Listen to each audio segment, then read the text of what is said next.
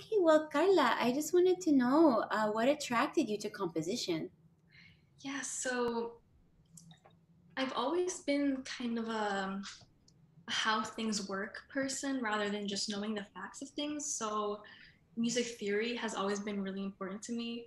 Um, when I was eight, I I was part of the Puerto Rico pre-college uh, conservatory uh, program in the Conservatory of Puerto Rico, and so they taught me a lot of uh, music theory, different many things that I didn't know were possible to to take from the music that's been written. So I I wanted to create my own music with all the knowledge that I had of music theory.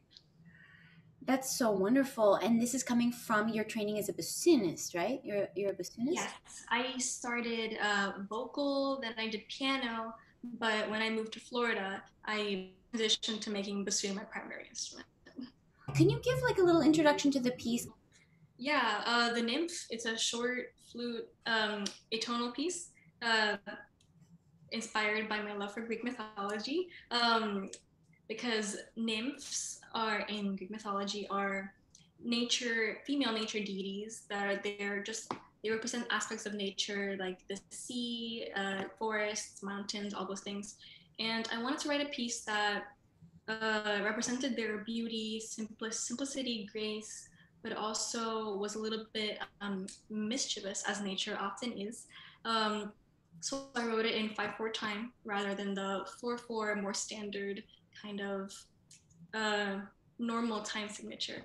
Mm-hmm. Um, and I hope that listeners, uh, when they hear the piece, they can imagine little uh, fairy nymphs uh, running around the forest.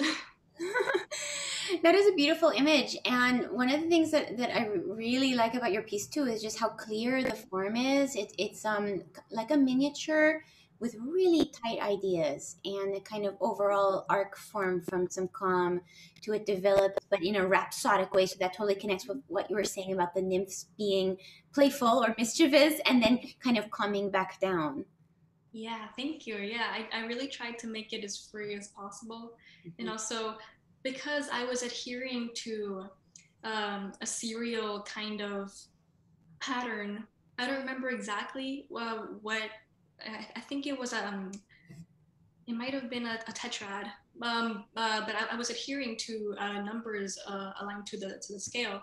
So I really wanted to break from the rigidity of uh, following a serial pattern, and I wanted to make it as free as possible.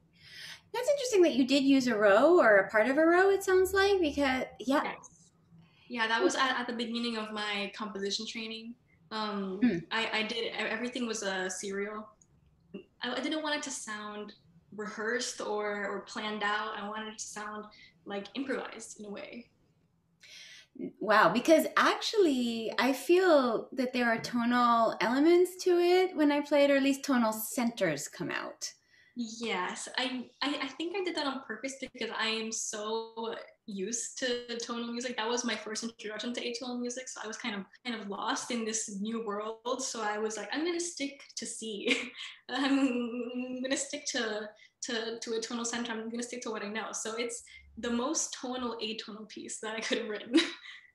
wow! And so your other pieces have not really been serial or atonal, or well, I I started composition lessons last year um, in about February, and all I did with my um, uh, teacher, my, my professor, was atonal.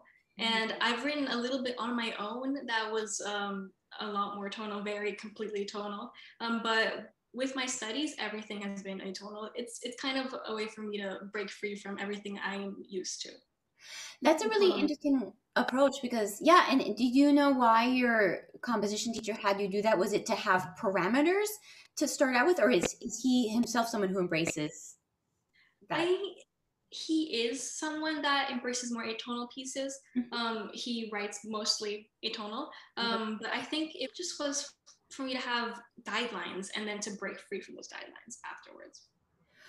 Okay wow that that is interesting because i have heard um, other young composers, but also co- composition professors talk about this idea that guidelines or parameters are really valuable. Yeah, for uh, for me uh, specifically, I'm a very um, kind of this is the whole concept of uh, language versus math.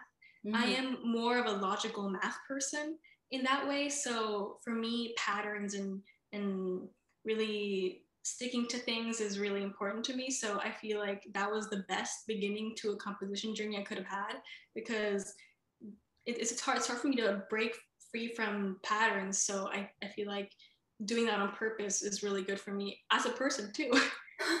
well, you know, that's really resonating with me um, in in terms of music and music pedagogy. Uh, because it's like you need to have the technique in order to have the expression. You really can't have one without the other. Yeah, I think that's totally the approach my professor was going for. To for me to just have the ability to to create something out of something so rigid and have the technique, and then just to break free from that. And sadly, because of uh, my applications, I couldn't continue much um, after um, after the atonal. I was I was just about to get to tonal music, and then I, had these floods of applications, and then I had to focus on that for a bit. But mm. I hope to soon continue to explore tonal music more.